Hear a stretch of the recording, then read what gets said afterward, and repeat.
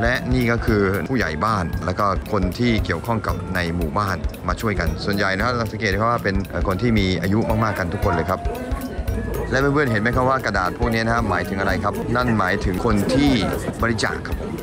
นี่คือเงินบริจาคของคนในละแวกนี้นะครับนี่ฮะห้าหมื่นเยนนะฮะแล้วก็หมื่นหมื่นเยนแล้วก็ห้าพันเยน การที่มีการบริจาคแบบนี้ก็เพราะว่าการแห่สันเจ้าแบบนี้นะฮะมันต้องใช้เงินครับ ไม่งั้นจะอยู่ยากนะครับ คนเสื้อเขียวนี่คือคนนะฮะเอ่อเป็นเกี่ยวกับหมู่บ้านนะคนในหมู่บ้าน แต่คนเสื้อขาวนี่คือน้องๆที่เรียนภาษาญี่ปุ่น และอาศัยอยู่แถวเมืองนี้ก็เลยให้น้องๆเนี่ยได้แห่สันเจ้า แล้วก็จะได้มีความสุขและได้เรียนรู้ด้วย และนี่ฮะก็คือส่วนใหญ่จะเป็นเด็กต่างประเทศนะครับเป็นเด็กวัยรุ่นเขาได้ฝึกเขาได้แห่นะฮะก็ทำให้เขาได้โฆษณาบอกเพื่อนๆ ให้มาเที่ยวเมืองนี้มากขึ้นครับ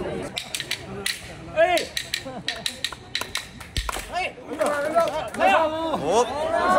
โอ้ยมาแล้วเ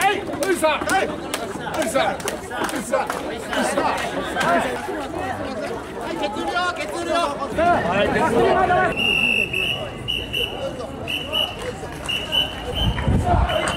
นี่ก็สังเกตนะครับว่าคนที่มาแห่สันเจ้าเนี่ยก็คือคนที่อาศัยอยู่ในเมืองนี้ เนื่องจากคนในเมืองเริ่มมีอายุมากขึ้น แล้วก็เด็กๆน้อยลง ก็เลยให้